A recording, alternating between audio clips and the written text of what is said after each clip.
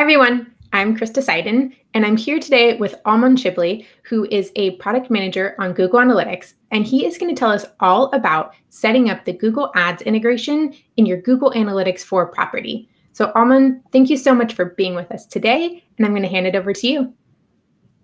Great. Thank you, Krista. So excited to be here to tell everyone about uh, how to set up your uh, Google Analytics property with Google Ads. And now let's jump into some slides for some quick background. Out of the box, with Google Analytics 4, you have the ability to analyze the performance of your cross-channel campaigns.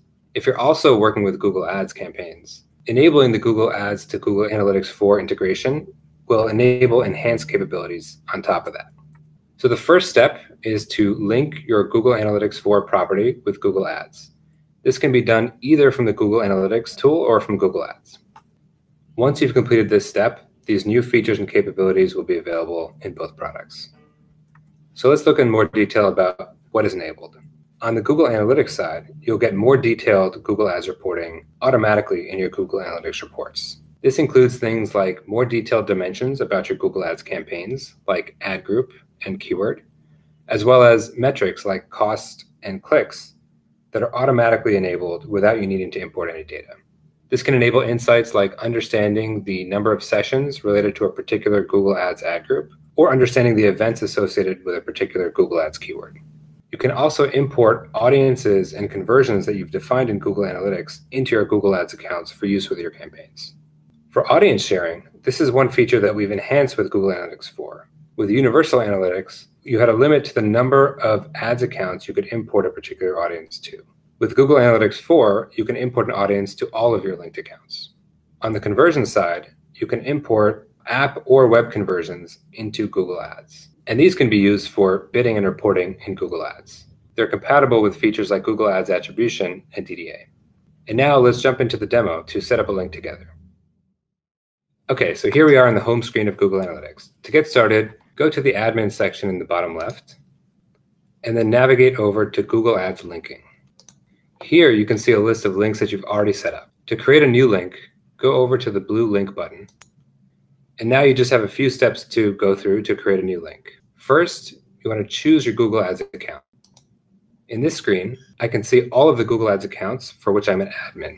In order to create a link, you need to be an admin on the Google Ads account as well as an editor on the Google Analytics property you'll see that I can link to a Google Ads account as well as a Google Ads Manager account. I can select multiple Google Ads accounts to create multiple links at the same time. So I'll go ahead and select these first two accounts and then click confirm to get to the next screen. I can see the two accounts that I've selected here and click next. So next, I want to configure the settings for this link. The first setting is to enable personalized advertising. This must be enabled in order to share audiences from Google Analytics to Google Ads.